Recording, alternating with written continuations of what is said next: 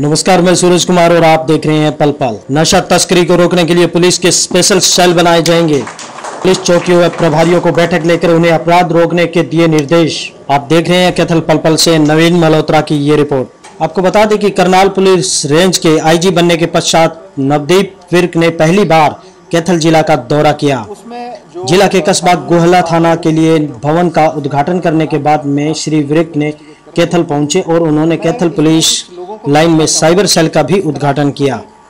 उन्होंने जिला के सभी पुलिस थाना और पुलिस चौकियों के प्रभारियों को बैठक लेकर के उन्हें अपराध रोकने के निर्देश दिए। मीडिया से बातचीत करते हुए श्री विर्क ने कहा कि महिलाओं के खिलाफ अपराध की बढ़ोतरी नहीं हुई है। उन्होंने कहा कि पुलिस की जाँच में 30 से 35 प्रतिशत केस कैंसिल हो जाते हैं। उन्होंने कहा कि महिलाओं के खिलाफ अपराध रोकने के लिए 20 टीमें दुर्गा शक्ति तैयार की जा रही है जिनमें से एक टीम कैथल में भी तैयार की जाएगी। जिसकी तैनाती जल्द ही कैथल में की जाएगी। उन्होंने कहा कि ट्रैफ़िक व्यवस्था में सुधार के लिए होमगार्ड के जवान लगाए गए हैं। उन्होंने बताया कि पुलिस अधिकारियों को निर्देश दिए गए हैं कि नशा तस्करों, अवैध शराब खुर्दों, स्टोरियों और संपत्ति विरुद्ध अपराधियों को सख्ती से उन पर कार्रवाई की जाए। उन्होंने पुलिस को यह निर्देश दिए हैं कि नशा तस्करों पर शिकंजा कसने के लिए मौजूद लोगों की सहायता ली जाए। नशा तस्करी को रोकने के लिए स्पेशल सेल बनाने के आदेश भी दिए। आप देख रहे हैं कैथल पल से ये रिपोर्ट रिपोर्ट एसएचओ चौकी इंचार्ज लेवल तक के। मैं आईजी करनाल रेंज ज्वाइन करने के बाद मेरी पहली विज़िट है कैथल की। और इसमें मेनली जो आज का मकसद ये रहेगा कि मैं चौकी इंचार्ज तक के लेवल तक के अधिकारियों से सबसे बात करना चाह रहा हूँ। और इसके तुरंत बाद ये मीटिंग है।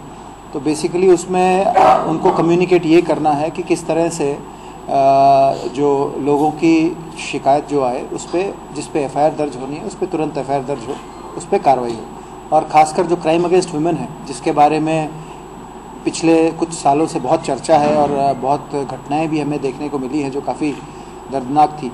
तो उसमें हमने एक स्टैंडर्ड ऑपरेटिंग प्रोसीजर एसओपी जो बोलते हैं, बनाया हुआ है। उस एसओपी को अगर कोई स्ट्रिक्टली फॉलो करता है तो मैं नहीं समझता कि किसी भी क्राइम अगेंस्ट वुमेन के जो मैटर को हैंडल करने में कोई प्रॉब्लम आएगी और हर मैटर में तत्परता से कार्रवाई होगी और उसमें हैरेसमेंट का सामना करना पड़ेगा। या ना कोई डिटेक्शन में देरी होगी, ना रजिस्ट्रेशन में देरी होगी। तो उन सब चीज़ों के बारे में मैं अपने अधिकारियों से बातचीत करने आया हूँ और जो हरियाणा पुलिस की जो कार्यशैली है, उसको और हम बेहतर बनाने की कोशिश करेंगे। देखिए, मैं नहीं समझता कि रेप केसेस कोई बढ़ रहे हैं इन टर्म्स ऑफ़ नंबर्स अगर आप रेप केसेस के फिगर्स को देखें तो 30 से 35 परसेंट केसेस बाद में कैंसिल भी किए जाते हैं। और हमें ये भी मानना होगा कि कहीं ना कहीं बहुत सारे केसेस इस तरह के भी हैं जो बाई कंसेंट जो रिलेशनशिप्स होते हैं वो बाद में रेप केसेस में कन्वर्ट कर दिए जाते हैं। तो हमें हर केस के डिटेल्स में जाना पड़ेगा और हमने इसको स्टेटिस्टिकली स्टडी भी किया था। तीन से चार परसेंट केसेस ऐसे होते हैं जो अननोन लोगों के साथ अननोन लोग किसी के साथ ऐसी दुर्घटना कर देते हैं।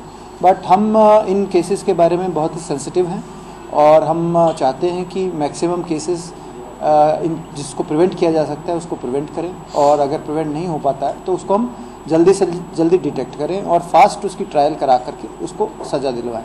इसमें जो सरकार की जो लेटेस्ट पहले Durga Shakti rapid action force इसका स्टेट वाइड लॉन्च 12 तारीख को पंचकुला में मुख्यमंत्री द्वारा किया जा रहा है। और इसमें मैं आपको बताना चाहूँगा, पूरे स्टेट में 30 कंपनीज़ जो दुर्गा शक्ति महिला रैपिड एक्शन फोर्स जिसका नाम रखा गया है, उसको लॉन्च किया जाएगा और कैथल में एक कंपनी ऐसी है। और इस कंपनी का जो इसकी स्पेशल यूनिफॉर्म होगी स्पेशल ट्रेनिंग इसकी हुई है स्पेशली इसमें लोग सेलेक्ट किए गए हैं, महिलाएँ हैं। और उनको हम प्रिवेंशन में इस्तेमाल करेंगे। ताकि जो ये स्कूल, कॉलेज के बाहर या सड़कों पे गली मोहल्ले में लड़कियों को छेड़ा जाता है, उसको हम, उनको सशक्त कर पाएँ और उनको उस चीज़, उस क्राइम को हम प्रिवेंट कर पाएँ।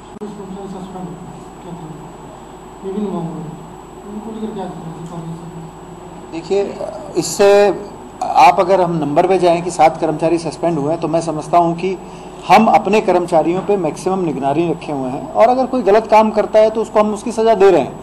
हम किसी को छोड़ नहीं रहे हैं आप इसको इस नज़रिए से देखिए। और आगे भी अगर कोई हमारा कर्मचारी किसी मगली भगत में होगा किसी लैब्स में होगा तो हम उसके खिलाफ कार्रवाई करेंगे।